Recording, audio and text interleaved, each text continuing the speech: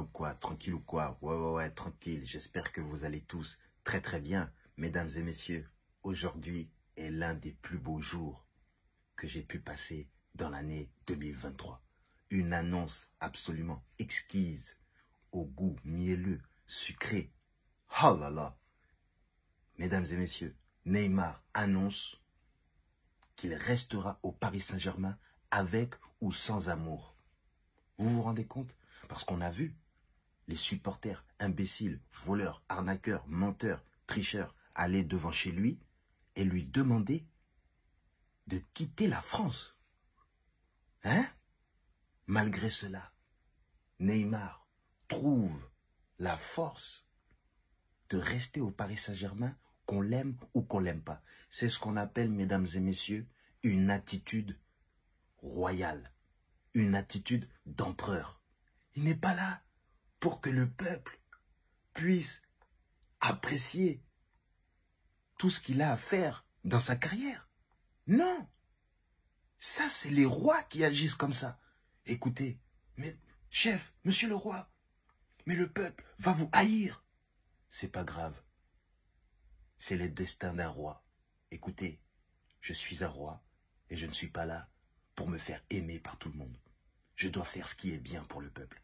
Et ce qui est bien pour le peuple, c'est de continuer à me battre pour ce peuple incroyable qu'est le Paris Saint-Germain. Vous vous rendez compte? Si ça, c'est pas une attitude de roi, d'empereur, je ne sais pas ce que c'est. Voilà. C'est ça qu'on appelle un joueur qui aime son maillot et qui aime son entreprise et qui aime une partie des supporters. Parce qu'il sait qu'il y a des supporters qui sont déviants, qui mangent un peu de caca et qui viennent dire du grand n'importe quoi sur lui. Il le sait. Bien sûr. Il le sait qu'il y a des gens qu'au lieu de faire caca par les fesses, ils font caca par la bouche en disant du grand n'importe quoi. Et après, dès qu'ils ont fini de dire n'importe quoi, ils rotent. Ça, c'est, pour nous, on dit qu'ils ont roté, mais eux, ils ont pété de la bouche. Moi, je vais vous dire un truc. Neymar, il va falloir commencer à arrêter de le critiquer. Vous oubliez qui est Neymar Neymar, à l'âge de 12 ans, on commençait déjà à le, comparer à, à Pelé.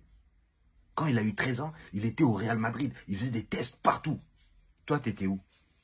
Hein?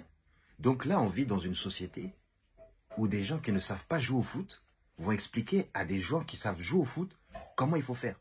Donc bientôt, nous, hein, on va aller dans les hôpitaux et on va dire aux chirurgiens, mais qu'est-ce que tu fais là?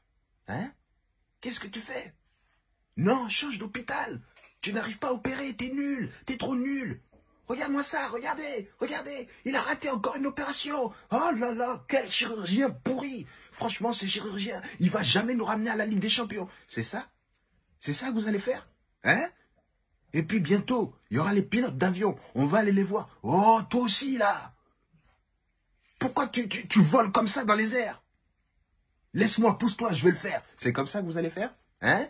Donc maintenant, euh, ceux qui sont diplômés pour faire des choses, on va aller les critiquer et on va se mettre à leur place pour tout casser. Parce que là, là, parmi tous les supporters, tu lui donnes le maillot et il remplace Neymar. Le Paris Saint-Germain se trouve directement à jouer dans les égouts. Tu entends?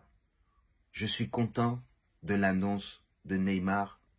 Sache que ce sera toujours avec amour qu'on te regardera et qu'on te soutiendra.